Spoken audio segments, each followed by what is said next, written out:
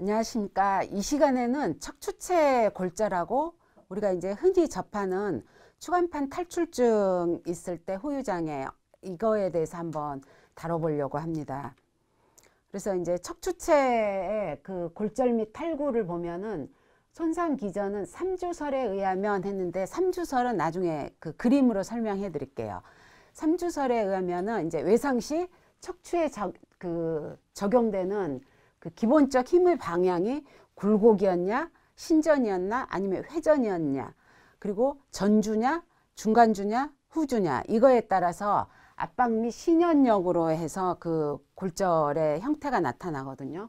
그래서 전종인데 전방 섬률은 추체의 전반부 이게 이제 전주가 되고 중간부는 후종인데 후방 섬률은 추체의 후반부, 후부는 척추경, 후궁 상하관 이렇게 하면 이제 머리에 잘안 들어오시죠. 이게 이제 삼주설, 데니스의 삼주설인데 제, 데니스란 사람이 척추를 이렇게 딱 나눠놨을 때 이게 이제 척추 체죠. 체부고 여기는 이제 우리가 배, 배고 여기가 등이에요. 척추를 옆으로 이렇게 서 있을 때 옆으로 잘라놓은 이 사진이거든요.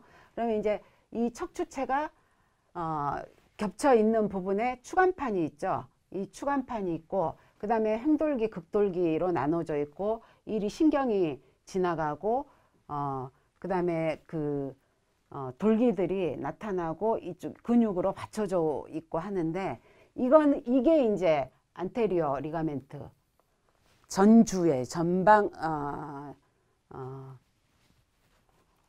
이름이 생각 안 나. 전방 섬유륜 그 다음에 추체 여기까지가 전주 안테리어 여기서 이렇게 나눈 게 이제 미들 중간주 이게 후방주 이렇게 해서 이제 삼주설이라 그러거든요. 그래서 이쪽이 파괴, 이쪽의 신현력이 파괴됐는지, 이쪽이 파괴됐는지, 이쪽이 파괴됐는지에 따라서 전주, 중주, 후주 이렇게 나누어요.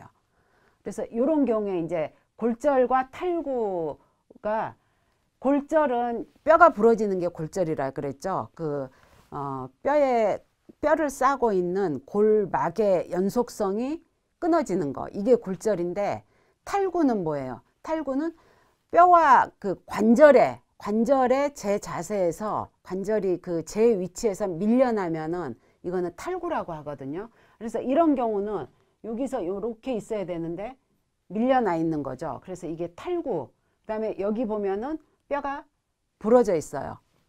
이게 저기 골절된 부분이 보이죠. 이런 거는 골절.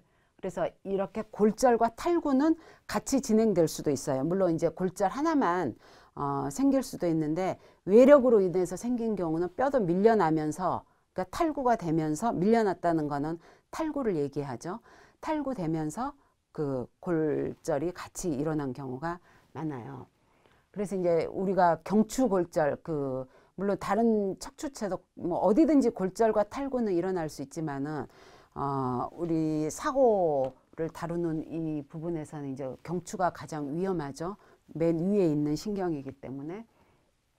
그래서 이제 경추 골절 및 탈구를 한번 보겠는데 굴곡 손상, 굴곡은 고개를 구부려서 위에서 뭐 물체가 떨어졌다든지 그 다음에 굴곡 시키면서 회전 돌아갔을 때 했다든지 과신전은 뒤로 고개 젖혔을 때 뭐 이렇게 해서 친 경우 그 다음에 이제 수직 압박 어, 척추 굴곡 손상 이런 식으로 이제 그 방향에 따라서 손상의 기전을 나누는 거예요 이거는. 그래서